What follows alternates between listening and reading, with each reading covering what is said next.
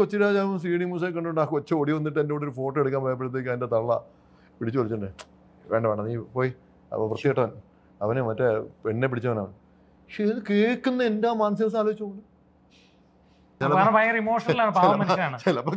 എനിക്കറിയാം അല്ല ഞാൻ പറയുന്നത് ഈ കമന്റ് വായിച്ചിട്ടേ ചേട്ടാ ഈ കമന്റ് വായിച്ചിട്ട് നിങ്ങൾ ഇങ്ങനെ പ്രയാസം എന്റെ മക്കൾ എന്റെ കുഞ്ഞുങ്ങൾ ഒരാഴ്ച സ്കൂളിൽ പോയില്ല. കാരണം അതുങ്ങൾ കുഞ്ഞുങ്ങളല്ല. അന്ന് നിന്റെ അച്ഛൻ വേറെ കല്യാണം കഴിക്കാൻ പോവാടാ. നിന്റെ പെണ്ണ് നിന്റെ അച്ഛൻ പെണ്ണിനെ പീഡിപ്പിച്ചോടാ. ഗൂഗിൾ സെർച്ച് ചെയ്ത് കഴിഞ്ഞാൽ സുധീർ സുകുമാരൻ എന്ന് അല്ലെങ്കിൽ സുധീർ എന്ന ആക്ടർ സുധീർ സെർച്ച് ചെയ്ത് കഴിഞ്ഞാൽ ഉടനെ ഈ പിന്നെ നടിയെ തട്ടിക്കൊണ്ടുപോയി പീഡിപ്പിക്കാൻ ശ്രമിച്ചു ബലാത്സംഗം ചെയ്തു എന്തൊക്കെ കൊല്ല കൊല്ലാൻ ശ്രമിച്ചു. എന്തൊക്കെയാണ് എഴുതി വിട്ടിരിക്കുക കാര്യം? ഞാനിത് എന്റെ ലൈഫിൽ നിങ്ങൾ ഇത്രയും പേരിരിക്കുകയാണ് ഞാൻ ഞാൻ വ്യക്തമായിട്ട് പറയാണ്. എന്റെ കുഞ്ഞുങ്ങൾ സത്യമായിട്ടും ഞാൻ വിശ്വസിക്കുന്ന പടച്ച തമര സത്യമായിട്ടും ഞാൻ ഇങ്ങനൊരു ഒരു ഒരാളെ ഒരു പെണ്ണിനെയും റോഡിൽ തടഞ്ഞെടുത്ത് തല്ലാനോ തട്ടിക്കൊണ്ടുപോകാനോ ഒരു ഭാര്യ ഇരിക്കെ തന്നെ വേറൊരു പെണ്ണിനെ കല്യാണം കഴിക്കാനോ ഒന്നും ഒരു ഞാൻ ചെയ്തിട്ടില്ല. പക്ഷെ അന്നത്തെ കാലത്ത് ഇങ്ങനെ ഒരു അലിഗേഷൻ വന്നപ്പോൾ ഞാൻ അതിനെ പ്രതികരിക്കാൻ പോയപ്പോൾ എന്റെ ഗുരു തുല്യനായ വിനയ സാർ പറഞ്ഞു എടാ നിന്റെ സിനിമയാണ് ഡ്രാക്കുള. അതിനകത്ത് അഭിനയിക്കുന്ന ആളാണ് നിനക്കെതിരെ ഇങ്ങനെ പറഞ്ഞിരിക്കുന്നത്. നീ വാ വിളിച്ചാൽ ഫസ്റ്റ് ഷോട്ടിൽ ജനങ്ങൾ കൂവും. അത് നിനക്കുള്ള കൂവലല്ല. അങ്ങനെ കൂവിയാൽ സിനിമ താഴെ വീഴും. അത് നിനക്ക് ഈ നിന്റെ ഈ രണ്ട് വർഷത്തെ കഷ്ടപ്പാട് ഇല്ലാതാവും. അതുകൊണ്ട് മിണ്ടാതിരി ഇതങ്ങ് പൊയ്ക്കോളും പക്ഷെ പോയില്ല. കാലം പത്ത് വർഷമായിട്ടും ഇന്നും ആ ചീത്ത പേരിട്ട ഞാൻ പറഞ്ഞില്ലേ എനിക്ക് വയ്യാതിരിക്കുന്ന സമയത്ത് പോലും എനിക്ക് വയ്യാതിരിക്കുമ്പോൾ എനിക്ക് ക്യാൻസർ ആണെന്ന് ഞാൻ ഡിക്ലെയർ ചെയ്യാണ്. എനിക്ക് നിങ്ങളുടെ എല്ലാവരും പ്രാർത്ഥന വേണം. എനിക്കൊരു കുഴപ്പമുണ്ടാവില്ല ഞാൻ തിരിച്ചു വരും എന്ന് പറഞ്ഞപ്പോൾ നീ ചാവൂടാ നിനക്ക് അത് തന്നെ വേണം. കാര്യം നീ പണ്ടൊരു പെണ്ണിനെ പിടിപ്പിച്ചവനല്ലേ പെണ്ണിനെ അവളുടെയൊക്കെ കണ്ണുനീരിന്റെ ചാവോടാണ് ഇത് കേട്ട എന്റെ മാനസികാവസ്ഥ എന്തായിരിക്കും? ഒരു തെറ്റ് ചെയ്തതും കുഴപ്പമില്ല.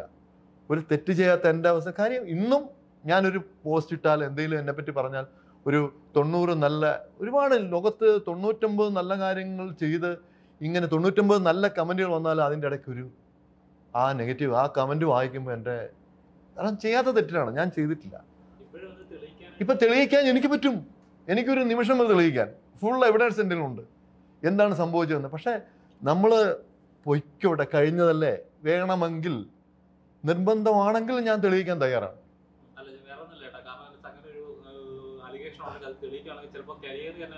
എനിക്ക് അങ്ങനെ ഒരു എനിക്ക് ഒരാളെ ഒരാളുടെ ഒരാളെ നശിപ്പിച്ചിട്ട് നശിക്കാൻ പോകുന്നത് ഒരു ലേഡിയാണ് അവരെവിടെയെങ്കിലൊക്കെ ജീവിച്ചിരിക്കുന്നുണ്ടായിരിക്കും.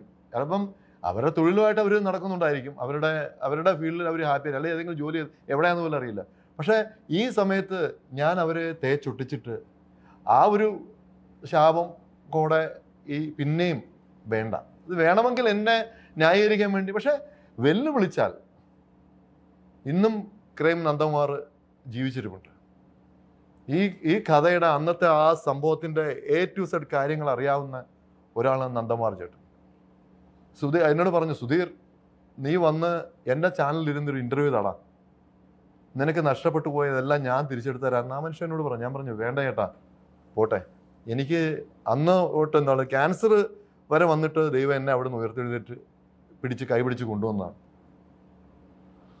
എന്നെ ഇവിടം വരെ എത്തിച്ചു. ഇന്ന് നിങ്ങളുടെ മുമ്പ് ഇരിക്കുന്ന അവസ്ഥ ഇതുപോലെ ഈ പിന്നെ ഇന്നും സിനിമ കൊണ്ട് പത്ത് ഇരുപത്തിരണ്ട് വർഷമാ ഇരുപത്തിരണ്ട് ഇരുപത് വർഷമായിട്ട് സിനിമയുടെ ചോറ് കഴിച്ച് ഞാൻ മുന്നോട്ട് പോകുന്നു. അതിനെല്ലാം എന്നെ തളർത്തുന്നില്ല. പിന്നെ നെഗറ്റീവ് ക്യാമറ അത് പോകട്ടെ ജനങ്ങൾ എന്ത് വേണമെങ്കിലും പറഞ്ഞോട്ടെ. തെറ്റിദ്ധരിക്കുന്നവർ തെറ്റിദ്ധരിച്ചോട്ടെ. എന്നെ അടുത്തറിയാവുന്നവർക്ക് എന്നെ അറിയാം. അതുകൊണ്ട് ഞാൻ അതിനെതിരെ പ്രതികരിക്കാത്തതാണ്. പ്രതികരിച്ചാൽ നാളെ പിന്നെ എനിക്കറിയാം ഞാൻ എന്റെ ഈ ബ്ലാക്ക് മാർക്കൊക്കെ മാറും എന്നറിയാം. എനിക്ക് നഷ്ടപ്പെട്ടിട്ടുണ്ട്. ഈ ഞാൻ ഡ്രാക്കുള ഇത്ര ഗംഭീരമായിട്ട് നല്ല രീതിയിൽ ഞാൻ അഭിനയിച്ചിട്ടും ഞാൻ ആ പടം വിജയിച്ചിട്ടും ഞാൻ എന്തുകൊണ്ട് എന്റെ ഗ്രാഫ് മേലോട്ട് പോകുന്നില്ല എന്നുള്ളതിന്റെ ഏറ്റവും വലിയ ഉദാഹരണമാണ് ആ ബ്ലാക്ക് മാർക്ക് എന്ന് എനിക്കിപ്പോഴും അറിയാം. പക്ഷേ ഒരു വിധത്തില്ലെങ്കിൽ വേറെ വിധത്തിൽ എന്റെ മക്കൾ രണ്ടുപേരും കാനഡയിൽ അവർ പഠിച്ച് അവർ ജോലി ചെയ്യുന്നു. എന്റെ വൈഫാണെങ്കിൽ ഒരു സ്ഥാപനം നടത്തി അവർ പോകുന്നു. എനിക്കാണെങ്കിൽ സിനിമ മാസത്തെ ഒരു വർഷത്തെ എങ്ങനെയുള്ള പത്ത് സിനിമ ആരെങ്കിലും എന്റെ സന്മനസ്സുകൾ നല്ല സുഹൃത്തുക്കൾ വിളിച്ച് തരുന്നുണ്ട്. അതുപോലെ ഇതുപോലെ നല്ല നല്ല കഥാപാത്രങ്ങൾ കിട്ടുന്നുണ്ട്. ഹാപ്പിയാണ്. പിന്നെ ആ ചീത്തപ്പേര് അത് ഈ പറയുന്ന പോലെ തന്നെ എന്നോട് കൂടി അങ്ങ് മണ്ണടിയട്ടെ. ഞാൻ ഒരുപാട് നല്ല കാര്യങ്ങൾ ഞാനും എന്റെ വൈഫും ചെയ്യുന്നുണ്ട്. അതെല്ലാം സോഷ്യൽ മീഡിയയിലെല്ലാം വൈറലാണ്. ഒരുപാട് സന്മനസ്സുള്ള പ്രാർത്ഥനയുണ്ട്. അത് മതി എനിക്ക്. പോരേട്ടാ പിന്നെ ഞാൻ പറയുന്നത് ചേട്ടൻ ഇതിൽ ടെൻഷൻ അടിക്കില്ല. ഭയങ്കര ഇമോഷണൽ ആണ് പാവം മനുഷ്യനാണ്. എനിക്കറിയാം. അല്ല ഞാൻ പറയുന്നത് ഈ കമന്റ് വായിച്ചിട്ടേ ചേട്ടാ ഈ കമന്റ് വായിച്ചിട്ട് നിങ്ങൾ ഇങ്ങനെ പ്രയാസപ്പെടരുത് ഞാൻ നേരത്തെ ചേട്ടനോട് പറഞ്ഞു കമന്റിൽ ആളുകൾ നമ്മളെ ഡീമോട്ടിവേറ്റ് ചെയ്യാനേ ശ്രമിക്കും. ചേട്ടനെ ഈ കമന്റ് എഫക്റ്റ് ചെയ്യുന്നു എന്ന് തോന്നിയാൽ വീണ്ടും വീണ്ടും വീണ്ടും ഇത് ചെയ്തുകൊണ്ടിരിക്കുക അപ്പം ഞാൻ എന്നെ കണ്ടുപിടി. ഞാൻ എന്തൊക്കെ തെറി കമന്റ് വരുന്നുണ്ട് എന്റെ പ്രൊഫഷൻ നോക്കണേ ഈ തെറി കമന്റിൽ ആളുകൾ വീഴുമെന്ന് പറയുന്നവരോട് പറയട്ടെ എന്ന് വിചാരിക്കണം. റിലാക്സ് ചേട്ടന് മനസ്സിലാക്കുന്ന ഒരു ചേട്ടൻ നമുക്ക് ഈ ലോകത്തുള്ള എല്ലാവരെയും തൃപ്തിപ്പെടുത്താൻ പറ്റത്തില്ല. എല്ലാവരെയും തൃപ്തിപ്പെടുത്താൻ ശ്രമിച്ചാൽ നമ്മൾ പരാജയപ്പെട്ടു പോയി എന്നാണ് അർത്ഥം. അല്ലേ? അതുകൊണ്ട് അത് വിടുക. തെറ്റ് നിങ്ങൾ ശരി ചെയ്തിട്ടുണ്ടോ ഇല്ലയോ എന്ന് നിങ്ങളുടെ കുടുംബത്തെയും നിങ്ങളുടെ മക്കളെയും ബോധ്യപ്പെടുത്താൽ മതി. അല്ല നാട്ടുകാരെ എല്ലാം കൂടെ ബോധ്യപ്പെടുത്തിക്കൊണ്ട് അങ്ങോട്ട് ശരിയുണ്ടോ? പിന്നെ കമന്റ് എഴുതുന്നവർ പല ഐഡിയിൽ നിന്ന് വന്നിട്ട് എന്റെ താഴെ നീ ഊള അല്ലേടാ ചോദിച്ചാൽ ഞാൻ പറയാം നിങ്ങൾ ഇപ്പോഴാണോ ഇത് അറിഞ്ഞത്? ഇത്ര കാലമായിട്ട് നിങ്ങൾ അറിയില്ല. ഇപ്പോൾ നിങ്ങൾക്ക് ലോകപരിചയം വളരെ കുറവാണല്ലോ എന്ന് പറയും. ശരിയാണ് ഒരു മനുഷ്യൻ മക്കളൊക്കെയുള്ള ഒരാൾ അദ്ദേഹം ചെയ്യാത്തൊരു തെറ്റിന്റെ പേരിൽ അദ്ദേഹത്തെ അങ്ങനെ എപ്പോഴും ഒരു കമന്റ് എഴുതി പീഡിപ്പിക്കുന്നത് ഒട്ടും ഒരു നല്ലൊരു കാര്യമല്ല. ശരിക്കും ദൈവമൊക്കെ കാണുന്നുണ്ടെങ്കിൽ അത് അതിന്റെ വഴിക്ക് അങ്ങോട്ട് പൊക്കോളും. ഇല്ല ഈ എന്റെ മക്കൾ എന്റെ കുഞ്ഞുങ്ങൾ ഒരാഴ്ച സ്കൂളിൽ പോയില്ല.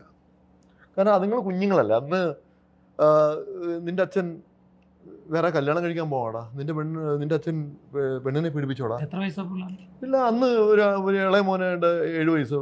പിന്നെ അവരൊക്കെ സ്കൂളിൽ പോകാതെ വീട്ടിൽ നിന്ന് അതൊന്നും കൊല്ലം അറിയാമോ എന്റെ സംഭവം? അത് അത് അതൊക്കെ അത് ആ ഒരു റൂട്ടിലൂടെ. കാര്യം ഞാൻ ഒരു ഒരു ഫംഗ്ഷൻ നിൽക്കുക. അപ്പോൾ ഒരു മോൾ പുള്ളി കൊച്ചി രാജാവും സി ഡി മൂസയെ കണ്ടുകൊണ്ട് ആ കൊച്ചു ഓടി വന്നിട്ട് എന്റെ കൂടെ ഒരു ഫോട്ടോ എടുക്കാൻ പോയപ്പോഴത്തേക്ക് അതിന്റെ തള്ള പിടിച്ചു വലിച്ചിട്ടുണ്ട് വേണ്ട വേണ്ട നീ പോയി. അപ്പോൾ വൃത്തികെട്ടവൻ അവനെ മറ്റേ പെണ്ണെ പിടിച്ചവനാണ്. പക്ഷെ ഇത് കേൾക്കുന്ന എന്റെ ആ മാനസിക ആലോചിച്ചു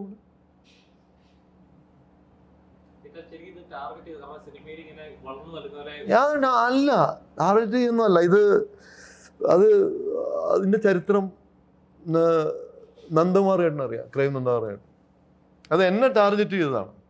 എന്നെ മാത്രം അത് വേറെ ആരുടെ പിന്നിലല്ല. അത് അങ്ങനെ ടാർഗറ്റ് ചെയ്യുന്ന ഒരാളാണ് അത് അത് കാസ്റ്റ് ചെയ്തത്. അപ്പോൾ അതുകൊണ്ടാണ് അനുഭവിക്കേണ്ടി വന്നത്. അല്ല വേറെ ആരുടെയും ഒരാളും എന്നെ ടാർഗറ്റ് എനിക്ക് ആരും ശത്രുക്കളുടെ സിനിമയിൽ വേറെ ആരുമില്ല. ഒരാളും എന്നെ എന്നെ എല്ലാവരും.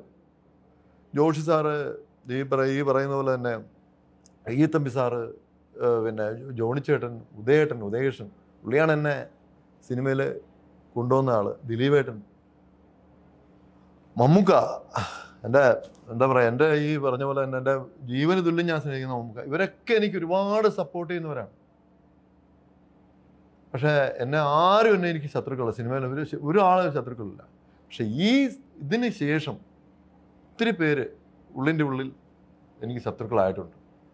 അത് ഇന്നും വിശ്വസിച്ചിരിക്കുന്നവർ അതിന്റെ പേരിൽ എനിക്ക് എത്രയോ അവസരങ്ങൾ നഷ്ടപ്പെട്ടു പോയി. അതൊന്നും ഞാൻ ദുഃഖിതല്ല പക്ഷേ എനിക്ക് ഇന്നും ഞാൻ പറഞ്ഞില്ല ദൈവം എന്നെ കൈപിടിച്ച് മുന്നോട്ട് കൊണ്ടുപോകണം അതെല്ലാം അതിജീവിച്ച് ഇപ്പോഴും മുന്നോട്ട് മുന്നോട്ട് അതാണ്. നമ്മൾ ഇന്നും ഇല്ലേ? ഈ പറഞ്ഞവരെവിടെ? ഗുരുതര അസുഖം വന്നിട്ട് അതിനെ അതിജീവിച്ചു വന്നില്ല? ഗുരുതരമായ ഒരു അസുഖം വന്നിട്ട് ക്യാൻസർ തേർഡ് സ്റ്റേജ് ഫോർത്ത് സ്റ്റേജിൽ എത്താൻ ആ അതിൽ നിന്നൊക്കെ അതിജീവിച്ച് മൂന്ന് നാലോ മൂന്ന് മൂന്നര വർഷമായി. ഞാൻ പിന്നെയും മുന്നോട്ട് പോകുന്നു.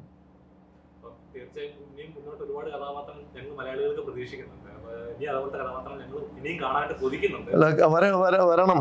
വന്നില്ലെങ്കിലേ നമ്മളെല്ലാവരും ഈ നമ്മളെ ഒരു ഒരു പവറുണ്ട് നമ്മളെ ഏത് മതമാണെങ്കിലും ഏത് ജാതിയാണെങ്കിലും ഇതിന്റെ ഏറ്റവും ഇതിന്റെയൊക്കെ ബേസ് ഒരാൾ മാത്രമാണ്. ജഗദീശ്വരൻ അള്ളാഹു. ഒറ്റ ആളാണ്. ദോൾമേറ്റി വേറെ ഒരു ഇല്ല. വേറെ ഒരു എല്ലാ ബാക്കിയെല്ലാം നമ്മൾ ആരാധിക്കുന്ന ഭഗവേദങ്ങളാണ്